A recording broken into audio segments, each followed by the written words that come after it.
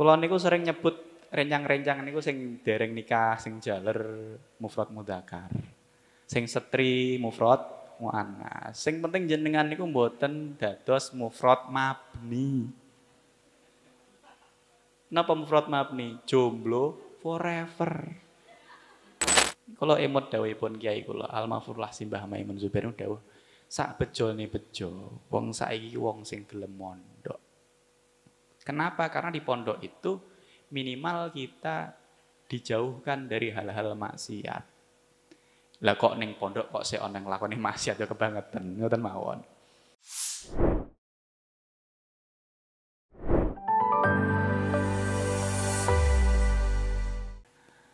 Ngoten nggih. Jadi kita akan masuk sesi berikutnya. Saya juga sudah menyiapkan materi beberapa hal yang perlu kalau sampaikan ke panjenengan.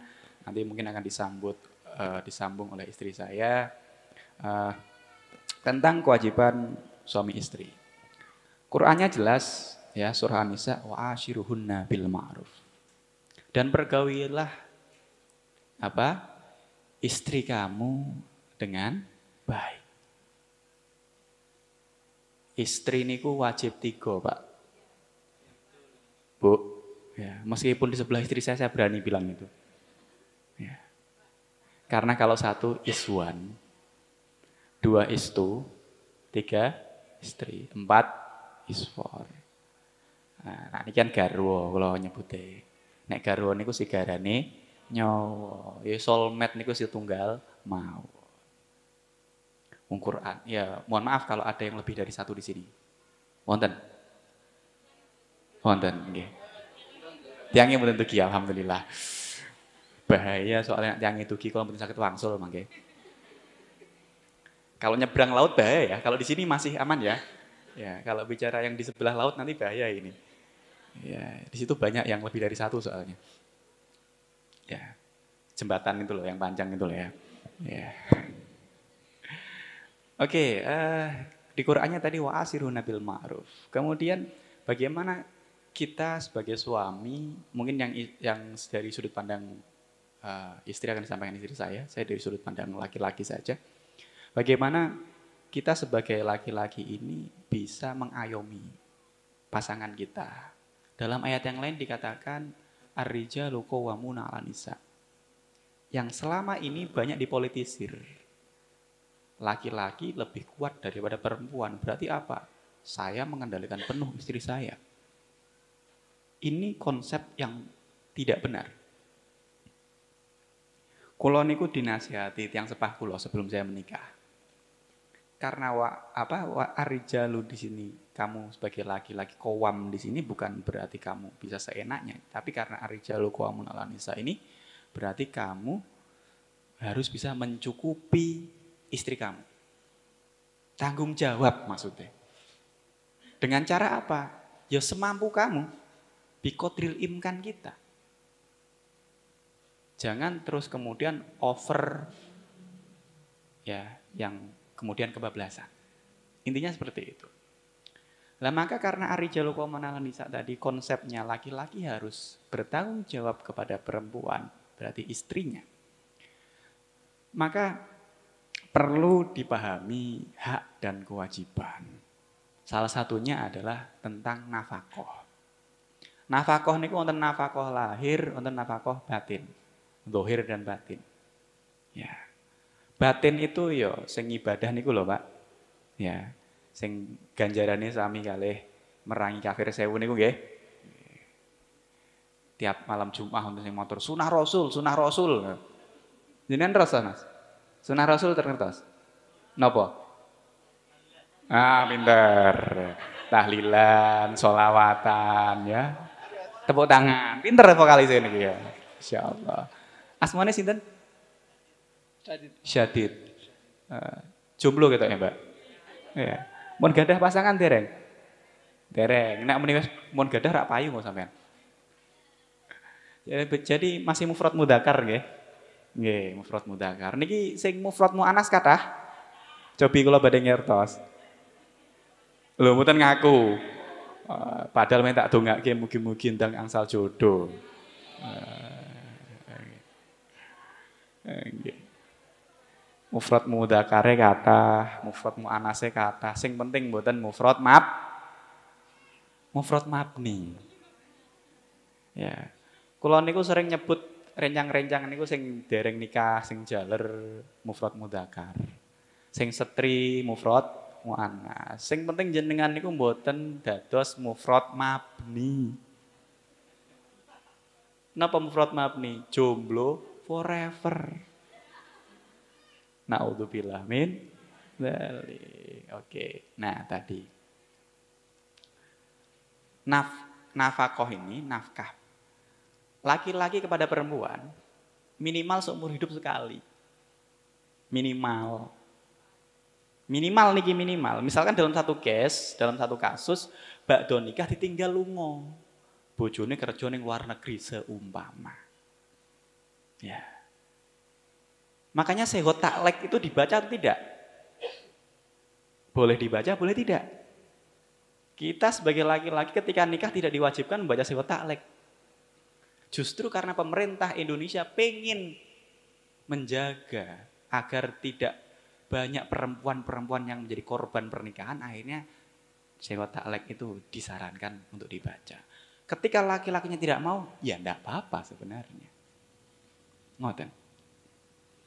Nah, terus kemudian ketika perempuannya kan ada di sewa taklek itu, nah, itu maka, maka namanya taklek, digantungkan otomatis akan jatuh kan gitu. Kalau ndak ya ndak. Misalkan kok bojone mau belas rak tahu naudzubillah nih ya.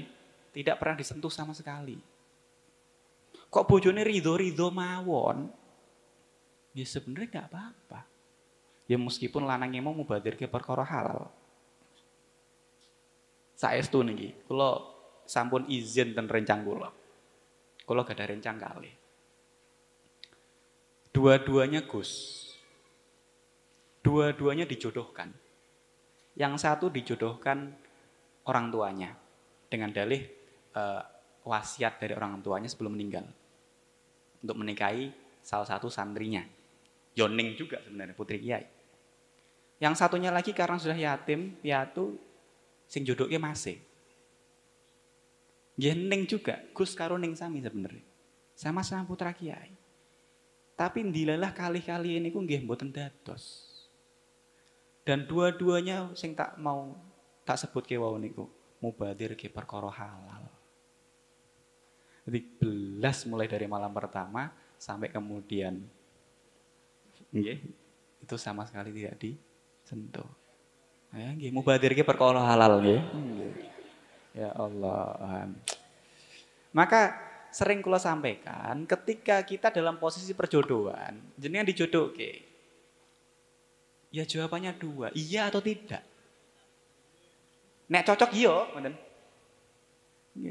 Kadang ono wong sing mau, jane aku ra seneng.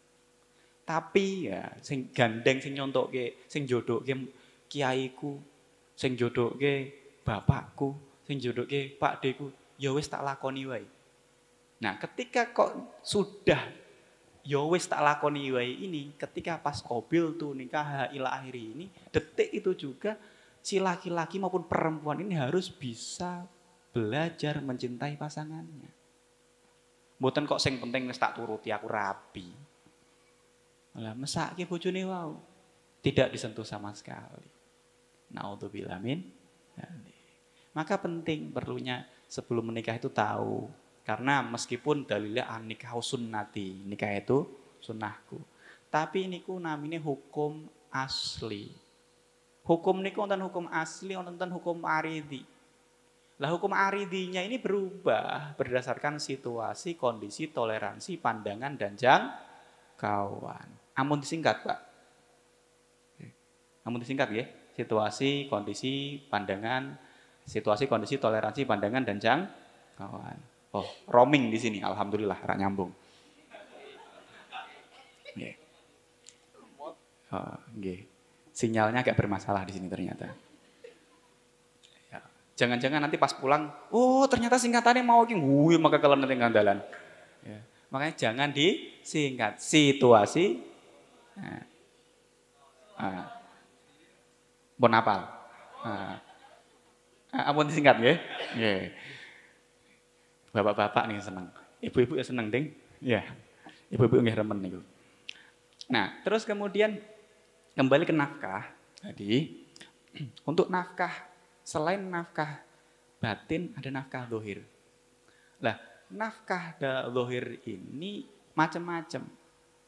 Salah setunggalipun kita wajib mencukupi tadi. Kembali konsep ayat tadi Ar-Rijalu al-Nisa. Untuk mencukupinya adalah kita harus menyiapkan nek corok wong Jawa niku sandang, pangan, papan. Nah, kalau kita baca di kitab fikih babun nikah, ini santri niku santri kalau ngaji bab fikih kita babun nikah. Ya, mangkat kabeh. Episode yang tidak boleh terlewatkan.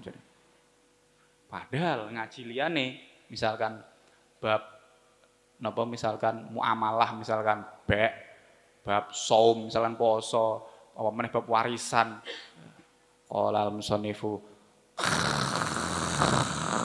wonten Nggak wallahu alam bisawab tuangi gasik. Wonten nggih. Wonten. Tapi ngoten-ngoten lah nggih barokah lho. Gumune niku ning ngoten. Santri ning pondok tura turulah tekan omah dadi wong. Ya mosok dadi kentongan ya.